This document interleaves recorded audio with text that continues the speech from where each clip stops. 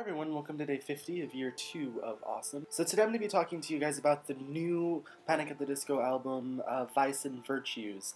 Now this was actually a really, really nice surprise because it's a really, really good album.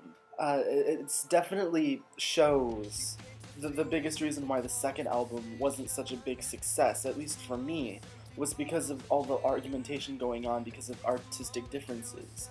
So now that the argumentation is gone, when the two members left and they were replaced, uh, the music is back to what it was in the first uh, Fever You Can't Sweat Out album.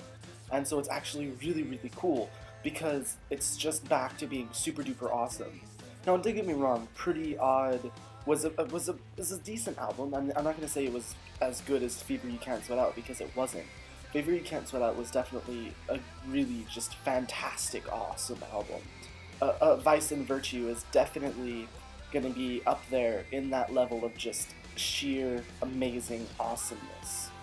The songs that I would recommend for anyone who maybe doesn't necessarily want to buy the album, but does want to listen to the music would include uh, the Ballad of Mona Lisa. That's that's a really good song. It's also the, the hit single that came from the album that they released and it's just thoroughly enjoyable. I have it on repeat constantly just because it's it's really nice.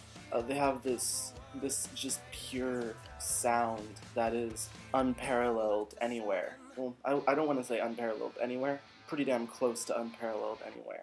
I recommend listening to Hurricane, Memories, Nearly Witches.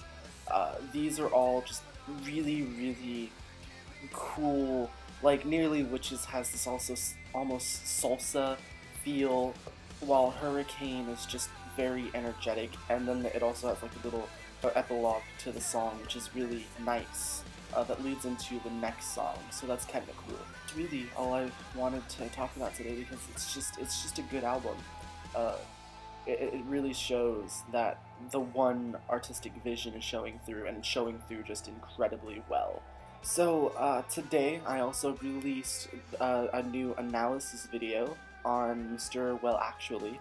So I'll go ahead and link his video, the, the video right right here. And I'll go ahead and catch you guys tomorrow. Bye.